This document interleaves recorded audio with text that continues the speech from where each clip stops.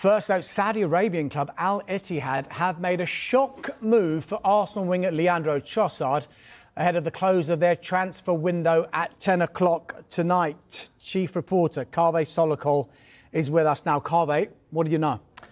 Well, look, Al Ittihad made this offer, which is an offer to take the player on loan uh, with an option to sign him, but it has been rejected by Arsenal. Arsenal have no interest in selling Leandro Trossard. I think the reason this has come about is uh, Trossard moved to Arsenal 18 months ago from Brighton. He's made a really, really big impact, has scored lots of very important goals. But I think he's been a little bit disappointed that he's not starting as many games as he would like. And also, we've seen in the last few days, Arsenal have signed Raheem Sterling uh, on loan from Chelsea. And Trossard, of course, is not one of the big, big earners at Arsenal. So I'm wondering if uh, Al have looked at all this and thought, you know what, we may be able to do a deal for him, which is why they've made this late offer but Arsenal have rejected it out of hand. I know a lot of Arsenal supporters uh, have been on social media today saying there's no way we should sell Leandro Trossard. And I think the good news, if you're an Arsenal fan, is the people running the club feel exactly the same way because that offer has been rejected. And I would be very, very surprised if the player was to leave. You say surprised if the player was to leave. They have made an offer, it's been rejected.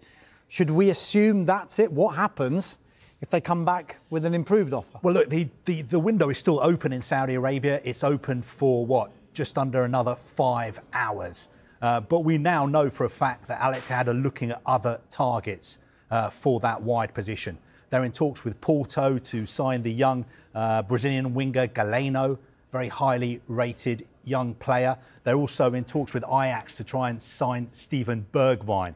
So I think they've left it too late, and Arsenal don't want to sell Trossard.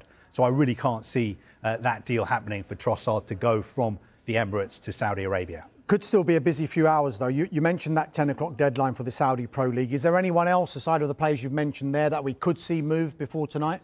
Well, look, I don't think there will be the kind of blockbuster names we saw last summer. Last summer, Karim Benzema, Neymar, Riyad Mahrez. Saudi clubs spent something like 700 million pounds.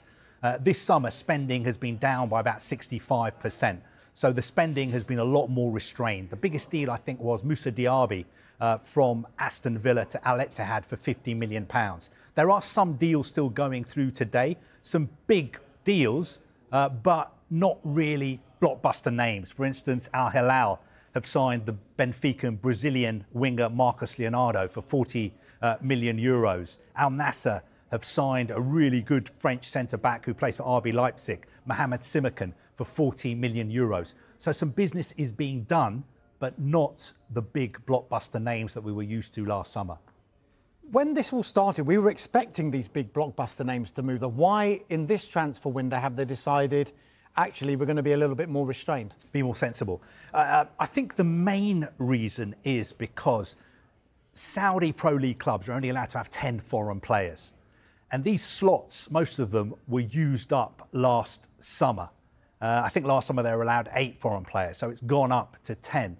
But there aren't the available slots for these clubs to go out and spend big on foreign players. So that is the main reason why I think it's been a lot more restrained. Also, I think last summer, the policy was let's make a big splash, let's create some headlines, let's create a real buzz around our league. Now they've got these big name players tied down to long term contracts.